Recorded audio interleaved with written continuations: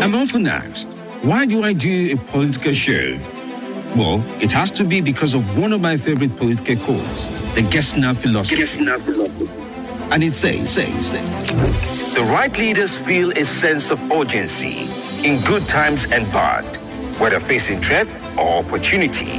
No matter what, they are obsessed, afflicted with a creative compulsion and inner drive for progress burning hot coals in the stomach that remains constant, whether facing threat or opportunity. This is what I also believe that there's a sense of urgency that needs to be done with every right leader. And that is why I do the show. This I believe. I am Femi D. Amele. 5.1 Nigeria Info. Nothing breaks the news like the news. Trust me, I can prove it. I'm ready. Let's take on the biggest debates on radio, provide insights, experience, and build an unforgettable discussion together. I am Femi D. Amele. Amele.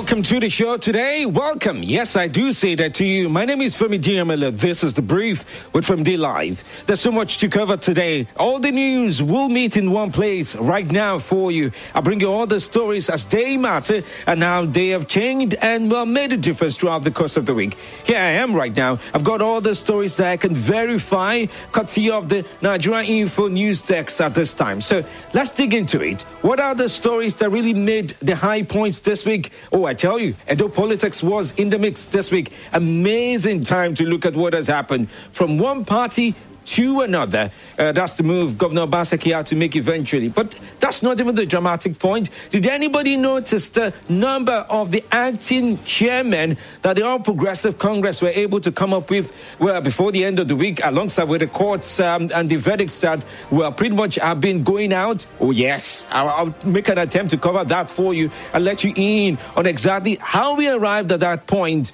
And yes, let you know what the playmakers, wait, let me take that back, the newsmakers, what they did, how they did, and how we arrived in this very week of June, the big stories, and how they all meet here right now.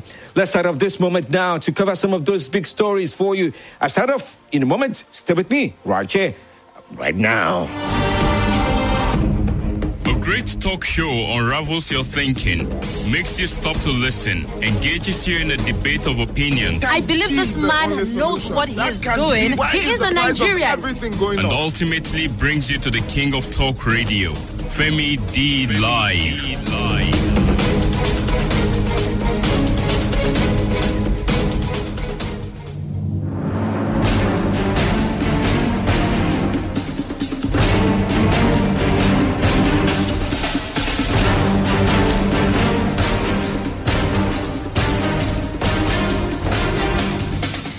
Time, big wig, big stories. All here, all now. Now, this week started off with uh, one major incident in the state villa. The presidency eventually did step out to explain this incident. Well, the senior special advisor to the president on media and publicity, Garba Shehu, in a communique on Sunday, just this last Sunday, assured everyone that the president, Muhammadu Buhari, is not and was not at any time in any form of danger arising, either from the deadly infection or the reported incident by the security personnel, which he said is currently under investigation. Now, according to Shehu, this particular incident happened outside the main residence of the president.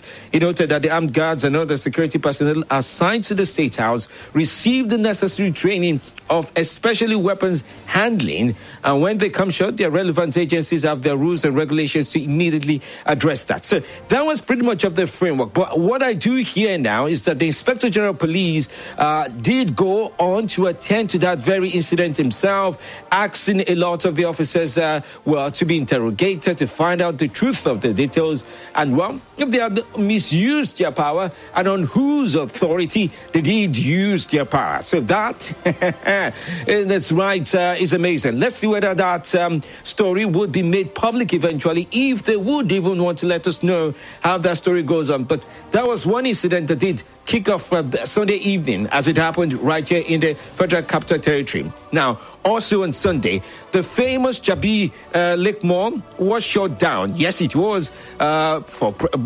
following the breaking of the rules and regulations and the policies regarding social gatherings um, as we would have it in Nigeria right now. The presidential task force team have the mandate of the president. They do have the mandate of the president to say, hey, no social gathering, follow the FCTA guidelines on COVID 19 now, everybody will be fine. But that was broken earlier this week when Naira Marley uh, held a concert in the premises of that uh, very lake mall. And yes, conducting business in that area is really, really tough. I do hear some of those shopping malls in that very lake mall are now suing uh, that lake mall for pretty much, uh, well, breaking those guidelines and, of course, um, hindering their own business. That's the story on the sideline. But one man was in the front line to explain this all to Nigerians, Ikharo Attah, who is the chairman of the tax force team here in the FCT, uh, Ministerial tax Force team, explained the next set of moves Listen to him right now. According to the wisdom of the magistrate, what you could see here is uh, a court order setting up Ajabi Lake Mall for a period of two weeks. It may be extended if the order of the court is not respected here. What the magistrate ruled is that Jabi Lake Mall, the management actually defaulted in allowing its parking space to be used for a concert in contravention to the COVID 19 rules and regulations. All right, well, that's pretty much of his explanation regards to that. But this week started off a little bit different with the COVID 19 numbers, okay? So let me let you in on Sunday evening what those numbers were. Uh, and of course, this week has also seen us record the highest number of confirmed cases 745 cases in Nigeria just this week. Uh, as at yesterday, there were a new number of cases, but not as high as that um, number of cases as we had. But as on Monday morning, the numbers that were available, courtesy of the NCDC were pretty much this. 403 new cases as of Monday morning of COVID 19 in the country. The total at that time was 16,085. Now, Gombe was on top of the chart with 73 new cases, while Lagos at 68 as at Monday morning. Uh, others, Kano at 46, Edo State at 36, FCT at 35, Nasarawa with just 31, Kaduna 17, um, and yes, Oyo State with 16, Abia recorded 15, Delta and Borno with 13 cases each, and in Plateau it was 8. Niger State and Rivers had 7 cases each, while the likes of Enugu, Ogun had 6, and Kebbi did come in with 3. That's how those numbers were as at Monday morning. But they, you know what the numbers are? They keep changing really quick and fast, and there are reasons to be concerned more than ever before. As the easing of the lockdown continues, one wonders, should we be doing this? Mm, what should we be doing? In fact, that's the way of putting it. Well, those were the numbers as at the start of this week. Let's go on now. The National Working Committee of the All Progressive Congress said they affirmed that the decision, uh, both the screening and the appeal committee for the Edo State governorship election, they have decided. But the national chairman, as at Monday of this week, was Adam Oshiomhole. He made known his decision with regards to the screening committee's um, findings um, uh, that disqualified Governor Godwin Obaseki, disqualified Chris Ogiemwonyi. Fidel will kill me right now for pronouncing this name. Uh, Matthew Iduoriyekemwen. Fidel, pronounce it in your mind on my behalf. Okay, these are Edo names right now. I do, I really wish I knew how to pronounce them. But um, they will not be participating in the June 22 primaries. That was how Monday started off. And it was all about explaining why this was going to be so. I'm talking about, um, I don't know, um, the controversy. The man found in the middle of the controversy as the uh, chairman of the All Progressive Congress, Adams Oshiomhole, made an attempt, um, uh, well, to explain this. Um, uh, pretty much in his own way. A party member in the state, Kenneth uh, Asokweme, who is a deputy state chairman, explained their decision. Oh, yeah, follow this because this lays the footwork of a lot of the things that we would follow through as the news goes on. The NWC has reviewed the two reports, the grounds for disqualification and the grounds for qualification. And we are satisfied that the appeal committee did a thorough job and their job has actually enriched or further reinforced the findings of the screening committee. And accordingly, NWC unanimously approved of the report of the screening committee and the appeal committee. All right, that was Adam Oshiomhole, the All Progressive Congress uh, man, chieftain. Let's go with chieftain. I don't want to be caught in the web of what is going on. Uh, even explaining this more, uh, one man was able to appeal to that National Working Committee with regards to its disqualification. Uh, well, they appealed with regards to that. But take a listen to what, uh, as at Monday, what the All Progressive Congress was saying. We, in the first place, had one of the individuals who appealed against from there, we went on to review the cases of the other two individuals who were also disqualified. All right, well, that led from Abuja drama to Edo State drama now. That is to say, a faction of the All Progressive Congress in Edo State recommended the expulsion of Godwin Obaseki as the chairman of the party in the state. Well, what, what they said this, a state women leader, Dr. Ayososa Amadasun, uh, from the party, they said Anselm Ojezua, uh, Dr. Ayososa Amadasun should all be kicked out of the party. But speaking at a news conference in Benin City, uh, David Imusie led committee commended this, the disqualification of Godwin Obaseki by the party's governorship primary screening committee.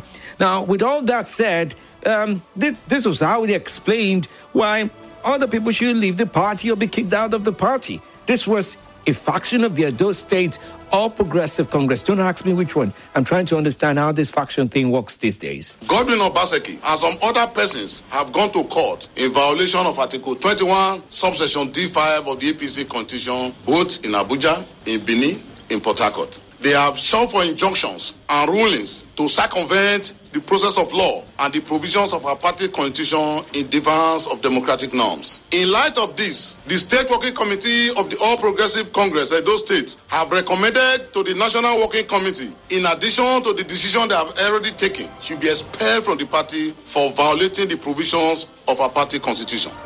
All right, well, that pretty much puts the framework of that. But as a Monday evening, there was some breaking news regarding a senator, uh, Senator Bayo Osinowo. He did die. That news was confirmed. Until his death, he was representing the Lagos East uh, in the Senate, yeah? In the Nigerian Senate, he was representing them until his death. He was also the chairman of the Senate Committee on Commerce, Industry and Investment. He was a four time member of the Lagos State House of Assembly before proceeding to the Senate. Now, still with politics, the national chairman, as a Monday now, remember we're still talking Monday, of the All Progressive Congress, Adams Oshiomhole, did meet with the chief of staff to the president, Professor Ibrahim Gambari. Yeah, uh, the meeting which took place in the office of the chief of staff also had in attendance um, the party's national vice northwest chairman, Inuwa Abdulkadir, um, the national treasurer, Adamu Fanda. Well, the meeting may be related to the party's disqualification, but that did go on on Monday with regards to. Uh, the All Progressive Congress and things that were going on in the party. That was Monday evening. This week, I, I, I, did say, was full of drama. So wait for it, follow through, because you need to sometimes understand uh, water under the bridge is not only the thing that matters. Sometimes the bridge is just taken away. It's a flood. It's a disaster when you follow the news the way they do happen. It happens really quick and fast. Okay. Outside of politics, the National Association of Resident Doctors did embark on an indefinite strike on Monday. That was the 15th of June. That strike started over 12 noon. The association's president, Dr. Aliyu Sokomba, and while announcing this on Monday, said the union has taken a decision to go on strike as a result of failed series of meetings uh, that had not been held uh, to address their concerns. Now, let me share with you what he said as at Monday. I know there was a meeting that did take place subsequently, but then as at Monday, this was what the mood and the feeling he had with regards to why they should go on strike. NEC observed the insincerity of the appointees of the executive arm of government in paying the outstanding salary shortfall of 2014, 2015, 2016 under the guise of the so-called appeal of the National Industrial Court judgment. And at the end of the meeting, the NEC resolved to proceed on an indefinite nationwide strike with the exemption of our members attending to COVID 19 patients at designated COVID 19 treatment and isolation centers for the next two weeks. After which, if things remain the same, they shall also be co opted to join the strike.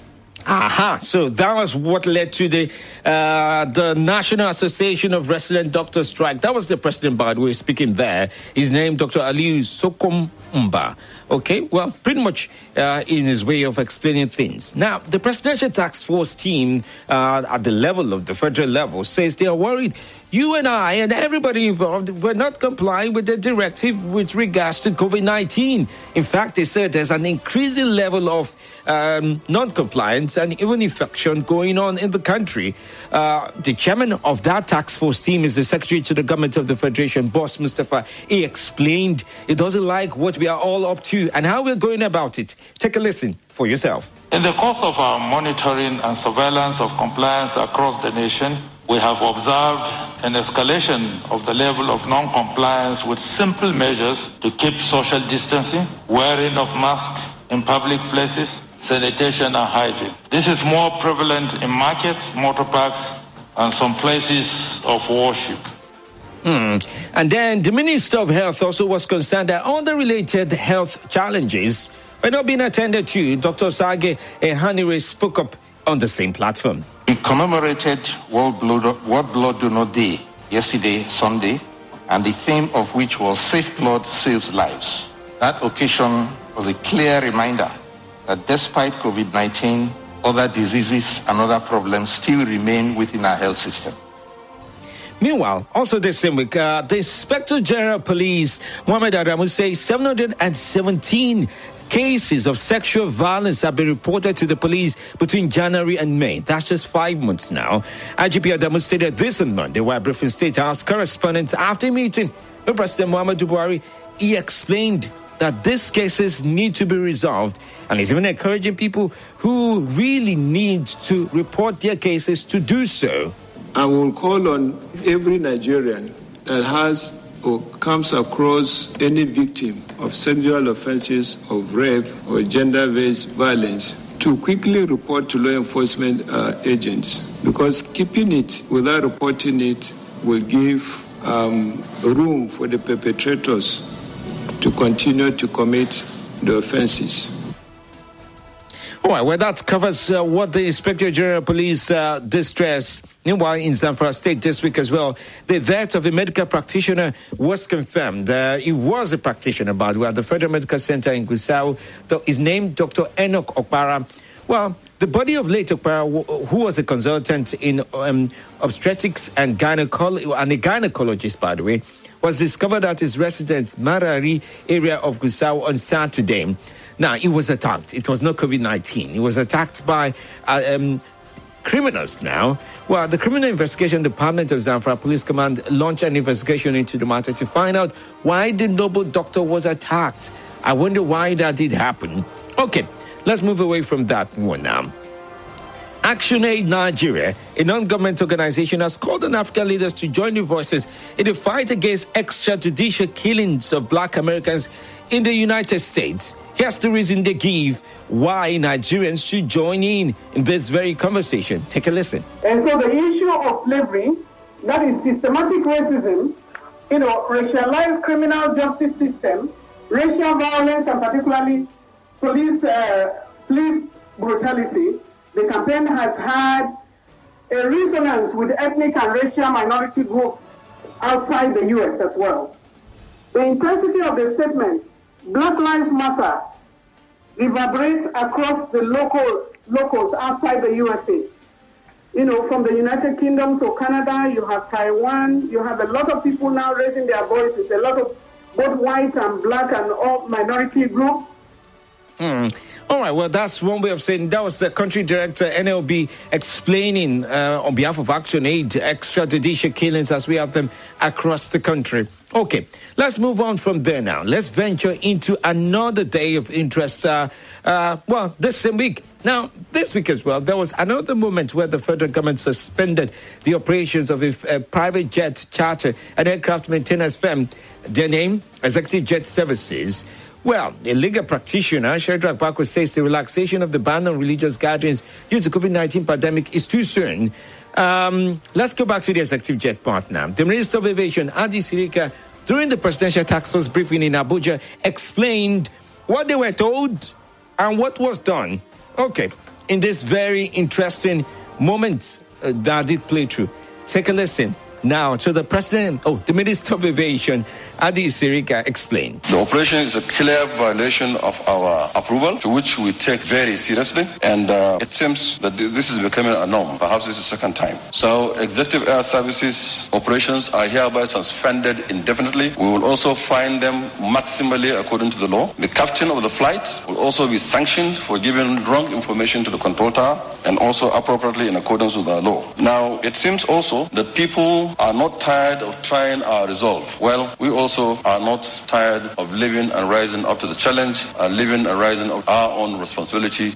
Hmm. Okay, that was Minister of Aviation explaining how executive jets is now suspended in their service. So they, are not tired of trying their resolve, so they will penalize them accordingly with regards to what they used to do. Now, Adams Oshiomhole was back in the news as of Tuesday, reaffirming the decision of the All Progressive Congress. That was Tuesday. Oh, Tuesday is a faraway time when you think about it in the, in the world of news. Our party is not a party of big men. It is governed by rules. Both the small and the big are subjected to that rule. I'm sure you will agree that our president led by example when we conducted direct primaries in the last presidential election, and we still went to the Eagle Square for affirmation. So if the president did not have the first right of refusal because our constitution did not provide for it, we cannot, under any circumstances, now bend the rules when it comes to some people and then change the rules when it comes to others.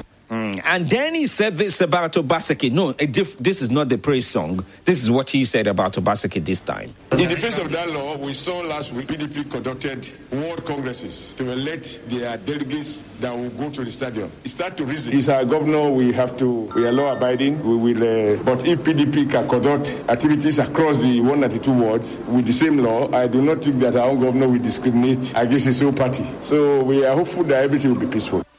Meanwhile, in Britain this week, uh, the British Prime Minister did speak about Black Lives Matter. Take a listen. I just had to sneak this one in. I think what we want to do is learn now very fast what fresh changes we need to make. What I feel most strongly is that there are so many positive stories that are so far that are not being heard, and things really are changing. And you're seeing young black kids now doing better in some of the most difficult subjects in school than they were ever before. You're seeing more going to top universities. We need to start telling that story and building up a culture of high expectations, of a narrative about success, as well as stamping out the racism and the discrimination that unquestionably exists. Okay, so this week as well, the Oyo State Task Force team, on, as a Tuesday, said, uh, on Monday rather, said that it had relaxed the curfew imposed on states following the advent of the ravaging coronavirus pandemic. But the task force made the decision public after a two and a half hour meeting presided by its chairman, Governor Seyi Makinde, added that the curfew would now run from 10 p.m. to 4 a.m.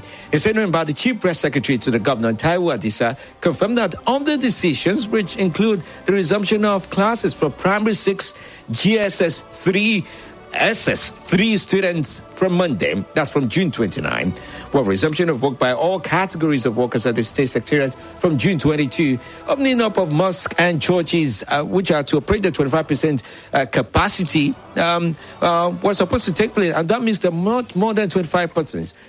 But as of this morning, I do hear they have rescinded that decision, uh, reconsidering it, having met with the um, operators of churches and mosques in Oyo State. They're really rethinking about opening that up yet again. So, somewhere between go, don't go, change your mind, don't change your mind. This is what coronavirus is doing um, in the midst of all this drama, as one would find uh, this time. Now, here, let's go to this one. Um, the world did mark this week World Elder Abuse Awareness Day. Yes, something like that exists if you do not know, where people who are elderly in the society are abused by, well, younger ones, um, either through maltreatment, no funding, and the likes of that. But speaking up about this this week um, was quite interesting. Take a listen to what uh, uh, Professor Ola Akogun Yes, um, the executive director of an elderly care foundation shared with regards to that very day that happened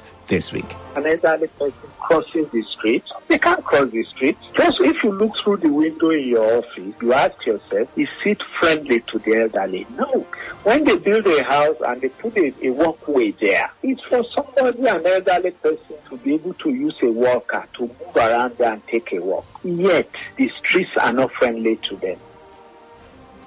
Not friendly to them. Okay. Uh, uh, forgive me, there's going to be plenty of in the brief today. This is the brief with Femi D Live. I've got you covered for all these stories as they did build up one after the other throughout the course of this week. Now, here's another one. Edo State politics. Now, the governor there, Godwin Obaseki, did resign from the All Progressive Congress this week. Let me not say too much. Let me allow you listen to that moment he made that choice uh, to go in a new direction with his political career. Or you may even say this way, his political life. I'm just here to inform you that I have now decided formally to resign my membership of the All Progressive Congress. Having done that, I will now announce in the next few days my specific line of action and what platform I will be contesting the gubernatorial elections on. I'm sure the whole country knows and is aware of what has gone on with me and the party chairman, the party leadership, which culminated in my disqualification as a gubernatorial aspirant. And upon that unfortunate decision by the chairman of the All Progressive Congress, all right, that, that was uh, State Governor Godwin Obaseki leaving the All Progressive Congress to a destination he later announced in the week. But uh, he didn't leave alone. His Deputy Governor Philip Shuaibu also followed through, carefully following the steps of his principal. It is with great pain that I am leaving the All Progressive Congress APC that I helped and labor to build as a result of the recklessness and absolute lawlessness of Comrade Adams Ali Oshiomhole, the suspended APC National Chairman. I also stand with the governor of Edo State, Mr. Godwin Obaseki. Anywhere is taking his political ambition to, I, Comrade Shuaibu, will follow him. He's not alone. A few more people are joining the moving sweep out of the APC. Hmm, I do hope you will really follow through when it's time for you to follow through uh, through the difficult times and the glorious times. I just hope, uh, well, Philip Shuaibu, who is the Edo uh, deputy governor at this time, that was him speaking up there. Now, moving past all that as well, the, um, the Minister of Labour and Employment, Dr. Chris Ngige, insisted that the meeting he had with the resident doctors was very successful, even though um, Dr. Aliyu Sokomba um, thinks otherwise. That was a dramatic point this week. Now, trying to stay, lay stay, and keep things going the way they should. Minister of Health, Dr. Ehanire Osagie, described the fact that they're committed to protecting the lives of citizens. The resident doctors have told us that they're not going to be returning to work very soon until certain other conditions are met. We have an obligation as the Minister of Health to be ready to protect the lives of Nigeria. We're not going to allow our hospitals to be fallow and our patients to be abandoned. The Ministry of Health will issue a directive to all medical directors and chief medical directors of all federal hospitals, health institutions in the country to open up a register and record all those who come to work and all those who do not come to work will be noted down. That was the Minister of Health. That was his own directive in response to national resident doctors and uh, the Minister of Labour as they continue to determine what direction they want to go. All right, well, determine, um, determine, determine, determine. Oh, no, we'll see which of them works best in this situation. Now, also, I, I find it interesting because President Muhammadu Buhari says, "Seed up or seed out or sheep out." That's what he told the security chiefs pretty much uh, this week as he called them to order with regarding the worsening security situation in the country. Not pleasing at all. Not pleasing at all. Uh, speaking about this, the National Security Advisor did explain uh, with regards to the new directive of the president. Take a listen for yourself what he said. Mr. President has expressed great concern over the declining security situation in the country. He is extremely unhappy about what is happening and he feels that even though the security agencies are doing their best, their best is not good enough for him and he wants an immediate reversal of the current trend an immediate reversal of our misfortunes in all their dimensions. All right, well, that was uh, retired Major Babagana Monguno uh, speaking up with regards to that. So, interventions, directive, behave yourself um, with regards to this. Okay, more on that. Domestic flights, should they come back soon enough? Maybe, maybe not. But the Minister of Aviation was speaking uh, this week with regards to how things should go in days to come. But it looks like no, that would not be happening. The flights will not be resuming anytime soon, at least not on record. Take a listen to what uh, Adi Sirika, who's the Minister of Aviation, explained just this week at the June 21st, um, that's saying June 21st is not feasible days to resume domestic operations for flights. We never said aviation is going to start definitely on the 21st. We are supposed to put our report back. Based on what we have, we have some work to do. As such, June 21st is not a feasible date to resume operations domestic. The Civil Aviation Authority, despite all pressures coming from all quarters, will not approve the start of operations any date until we are sure and we confirm that we are ready to start in a safe, secure, organized, and efficient manner. All right, well, that covers that with regards to aviation. Now, uh, of interest as well, resident doctors back in the in the loop of things. Um, uh, what can I say? There was more to it. Now, the Minister of State for Labor, that's Festus was trying to explain what is the latest with regards to uh, doctor strike or no strike, and um, well, the views of labor essentially about this. Finance ministries were just able to start the payment on that same Monday 15th. And by the meeting of 16, they had come with evidence that they have paid for 11 hospitals and the federal medical centers. And we showed them the evidence. Also, there was evidence that the insurance premium had been paid. In fact, 9 billion had been spent by the federal government to pay for insurance for not only health workers this time, but every worker in the public service of the federation. Apart from the health workers, any other worker who loses his life as a result of the COVID, the family can make claims for the group life insurance as enshrined in the PECOM Act. As of now, we are still talking to them. We are satisfied that the government side, led by the their direct employer, the Minister of Health, has done the needful. So it's our hope that they will summon the relevant organs of their association so that they can call on the strike, which brought some hiccups in the health system management. All right, well, that pretty much says a lot about how things are. Uh, that was Dr. Chris Ngige, by the way. Okay, and we'll see how all this frames up. And, well, it, the speech there, uh, let me see. Dr. Chris Ngige, uh, accompanied by the Minister of Health, Dr. Osagie Ehanire, uh, also Minister of Labour and Employment, uh, Festus Keyamo, all there, all of them just pretty much uh, addressed State House correspondent this week. But there was also another interesting moment uh, with regards to the strike action. Take a listen to this. We hope that there's a solution in sight. What we have done is to brief His Excellency the President, who, as we all do, have the final responsibility for everything that goes on in government. Those of us who are ministers at ministries and have to report to him periodically. In this particular case, it has been important because of the uh, strike action of resident doctors to report to him how things have been. All right, well, that's interesting to know. Keep up with me now. Uh, if you can, throughout the course of the week at Femi D Live, you can send some of the podcast stories of interest to you. We just may be able to review them come Saturday on the Brief with Femi D Live. Okay, much of that. Let's keep up now. Remember, Morning Crossfire runs with me alongside with Swad Monday through Friday. Yeah, I'm here uh, explaining the politics and also discussing it out with you.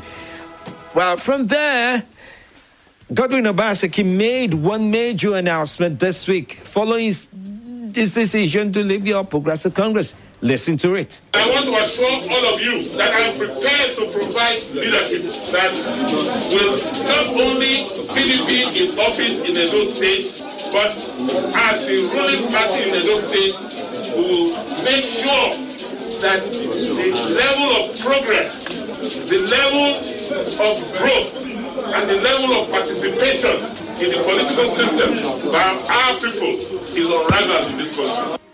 All right. that was uh, Godwin Obaseki. The moment he declared that he has joined the People's Democratic Party as a politician and possibly will be the governorship aspirant for that very political party at this time. Remember, he's one hot man. He is hot enough uh, to lead uh, the United States uh, um, team and the campaign against the All Progressive Congress that it would possibly be facing off with uh, Pastor Ize We'll see how that turns out at the end of the day. Now, the Chief Justice of Nigeria, Justice Tanko Muhammad, has formally sworn in the Justice Monica Dongban Mensem as the president of Court of Appeal. Certainly, you will see that there is no one court in this country that has the number of justices that the Court of Appeal has. Therefore, that shows you that Court of Appeal is a home of work. Court of Appeal is the home of cooperation. You have to cooperate together, all of you, from top to bottom, so that the work will continue to progress. Just to let you know, the father of the new Court of Appeal president uh, was also a, a, retired appeal court of justice as well. So uh, she's from Plateau State. Um, well, pretty much interesting career uh, and the work that's gone on and on um, for now. Okay, so where am I now? Let's see. What other stories am I missing out on? Let's see whether you can take on this one. I, I need to open up the phone lines before it's 11 o'clock so we can have a conversation about this. Uh, Okay, so there's been talk about Niger State as well, um, finding a lasting solution um, with regards to Niger State. Um, there's been issues of insecurity in Niger State, in Borno State, um, in Katsina State. All this make up some of the big stories um, that one way or the other uh, lay the framework uh, with regards to how things should be done. But security continues to remain a challenge. So also is the issue of rape in the country. Well, Minister of Women Affairs, Pauline Tallen, voiced the commitment um, of the federal government in the fight against cases of rape and gender violence, gender based violence in the country. She was really at it this week and she explained what the government will be doing. Take a listen to our thoughts with regards to this. The President has also directed his uh, Attorney General to put in place an interministerial committee where we can together work to ensure that we get to the root of this matter. And there are so many sister ministries that we must work together. The Ministry of Health, the Ministry of Education, the Police, Ministry of Police Affairs, the Inspector General of Police, Judiciary, all hands are on deck. Mm. All hands are on deck. And as uh, the PTFC says, human resistance to change is one of the biggest causes of the, the spread of the pandemic. But um, if I were just going to use one single word, we are stubborn. Like the rest of the world, our national response continues to face challenges, especially as there is no known cure for the virus presently. These include inadequate infrastructure, manpower shortage, global shortage of essential items like test kits and PPEs, strain on the economy, which has compelled the need to balance between lives and livelihoods. By far, the greatest challenge are human resistance to change, stigmatization, mental health, skepticism, culture, religious belief, rising incidences of domestic violence, and a host of others. Well, and a host of others. We'll see how that turns out. Meanwhile, the national coordinator of the task force, Dr. Sani Aliyu, also shared his own thoughts about what we're doing right and wrong at this time. The PTF continues to be very concerned about um, the issue of um, compliance. As you are aware, we are here to push for the containment of COVID 19 in the country through data driven medical advisories. Um, the fact that um, we are receiving many reports on the flouting of the guidelines by, in, by individuals, groups, and organizations is simply uh, unacceptable. All right, well, that covers that uh, with regards to that very story. Let me also share with you one more moment uh, that was fascinating this week, yeah? Uh, and yes, worthy of some response as well. It's, it's just numbers, numbers and issues going on uh, with regards to what one would confidently find at this time. Oh, should I? Oh, yeah, I'm out of time. Let me, let me let this be. I go on a break now. After the break, I'll let you into the conversation. Uh, you tell me some of the big stories this week that framed your mindset with regards to what's going on in the news. I'd like to hear from you. Keep up with me on the very following platforms I will be announcing in a short while from now. This is The Brief with Femi D Live.